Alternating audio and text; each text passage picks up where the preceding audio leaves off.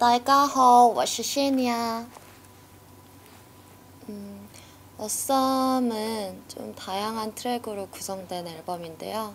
데일리적인 곡들을 제가 좋아하다 보니까 제가 좋아하는 노래들을 조금 들려드리고 싶은 마음에 어, 제가 평소에 시도할 수 없었던 음악 장르를 시도한 다양한 트럭, 트랙들이 구성되어 있는 음, 다양한 매력이 있는 앨범입니다.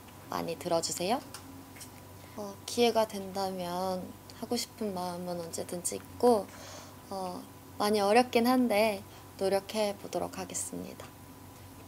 정확한 날짜는 우선 알려드릴 수는 없지만 어, 오늘 또 굉장히 기분 좋게 많은 팬분들이랑 만날 수 있는 기회가 생겨서 너무 기쁜 마음으로 홍콩에 왔었고 머지않아서 또 다른 좋은 일로 만나뵐 수 있지 않을까 기대해 주시고 기다려 주셨으면 좋겠습니다. 어, 오늘 어, 굉장히 짧은 시간이긴 했지만 게임을 하면서 저는 즐거웠었거든요. 그래서 좀 평소에 할 수 없는 그런 게임을 한다거나 이런 게 좀 가장 하고 싶은 하고 싶다면 하고 싶은 일인 것 같고 음, 팬미팅도 좋고 소규모의 공연도 좋고 오늘같이 사인회도 좋고 기회만 된다면 팬들이랑은 뭘 해도 재미있는 시간인 것 같아요. 어, 일단 좀 뻔뻔해지셔야 돼요, 다들. 조금 뻔뻔하게 그때만큼 내가 오늘은 섹시하게 보여야겠다라고 생각이 드는 날인 만큼은 좀 뻔뻔하게 당당한 모습을 보여주는 게 가장 좋으실 것 같고 좀 파워워킹을 해보시면 도움이 많이 되지 않을까 싶습니다.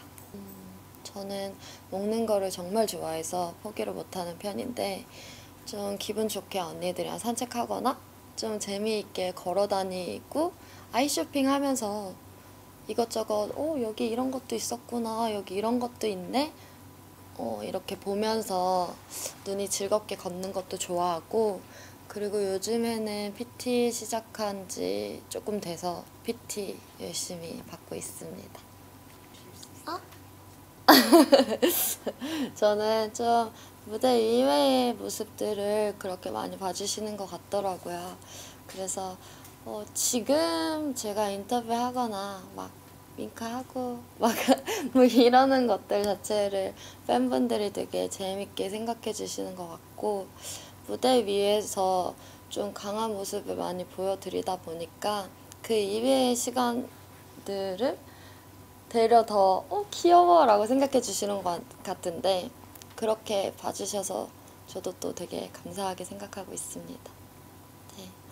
홍콩에서 지켜봐 주시는 팬분들 어, 다음에 찾아뵙는 날까지 그때까지 계속 저를 지켜봐 주셨으면 좋겠고 머지않아서 좋은 소식 있을 것 같으니까 계속 꾸준한 관심과 사랑 주시고 또 이렇게 인터뷰로 찾아뵐 수 있게 돼서 너무 기분 좋습니다. 어, 그때까지 건강하시고 현아 앞으로도 많이 사랑해주세요.